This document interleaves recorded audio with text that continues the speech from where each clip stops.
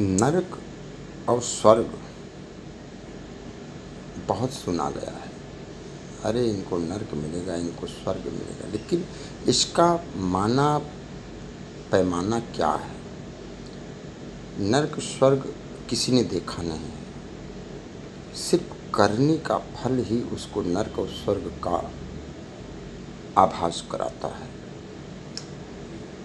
मृत्यु हो जाने के बाद, मर जाने के बाद अगर जिस भी प्राणी की मृत्यु हो जाती है, उसके मरने के बाद अगर दस लोग उसकी बड़ाई कर दें, प्रशंसा कर दें, अरे ये तो बहुत ही अच्छा मनुष्य था, इंसान था, सबकी दुख सुख में हमेशा खड़ा रहता था तो उसको स्वर्ग हो जाता है। वही शब्द ही स्वर्ग है।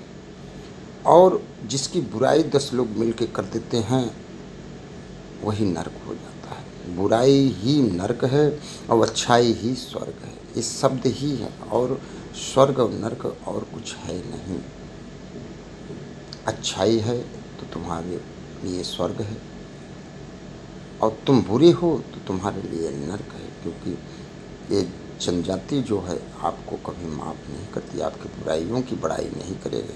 अच्छाइयों का ही बड़ाई होता है।